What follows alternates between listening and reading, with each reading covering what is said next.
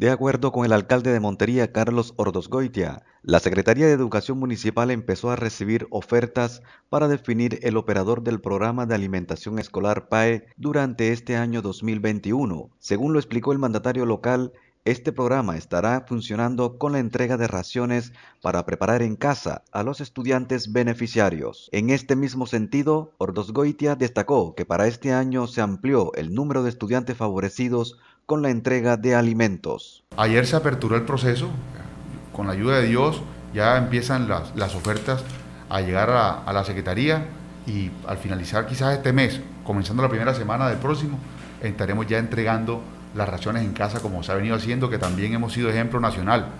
Aumentamos de 37 mil eh, beneficiados a 40 mil. Es de recordar que el secretario de Educación de Montería, Óscar González, sostuvo en su momento que no descarta la operación del PAE mediante la preparación de alimentos en sitio. Sin embargo, esto dependerá del comportamiento de la pandemia lo vamos a seguir operando de la misma manera, con la ración preparada en casa.